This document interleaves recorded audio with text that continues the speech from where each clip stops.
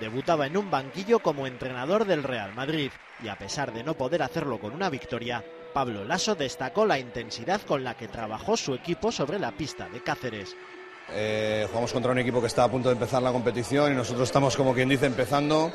Y, bueno, eh, yo creo que ha sido muy positivo para nosotros el haber podido trabajar muchas cosas en muchas situaciones y, sobre todo pues un final tan igualado, ¿no? que en el Carao Cruz pues no hemos sabido ganarlo. Felicitar al Cáceres, nos ha venido muy bien este partido y, y seguir trabajando que para esto está la pretemporada. Es tan solo el primer encuentro de la pretemporada y al igual que se vieron cosas buenas del Real Madrid, también otras en las que el equipo tiene que mejorar. Hemos tenido momentos muy buenos de baloncesto. Eh, eh, tal vez no hayamos sido capaces todavía, es normal, de mantenerlo durante muchos minutos.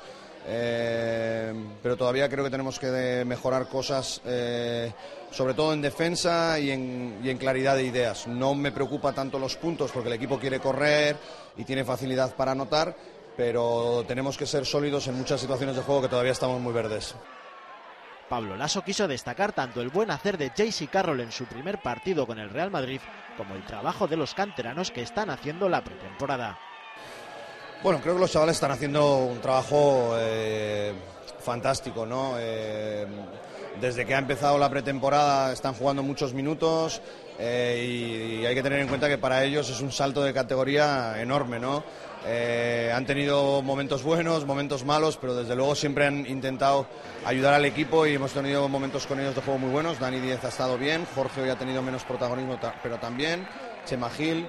Bueno, creo que está siendo muy positivo para ellos el poder estar en la pretemporada con nosotros y desde luego a nosotros nos están ayudando mucho. ¿no? Yo sobre todo, si tengo que resaltar algo de, algo de hoy, es que además de su trabajo en, en, ataque, defensivamente ha estado muy muy activo y ha ayudado mucho al equipo y es algo que necesitamos de él, ¿no? Ante el Cáceres se pudo ver cómo vive desde la banda los partidos el nuevo entrenador del conjunto blanco. De lo que no cabe duda es que sea cual sea el resultado, él nunca va a dejar de trabajar. Eh, independientemente que el resultado es, es, lo menos importante en pretemporada, pues al final quieres ganar, ¿no? Y, y, bueno, hemos tenido el último balón para ganarlo y le hemos tenido el balón para incluso empatarlo, hemos fallado los tiros libres. Eh, el resultado entre comillas, es una anécdota, lo importante es el trabajo, pero desde luego nos vamos un poco cabizbajos porque lo que queríamos era ganar el partido.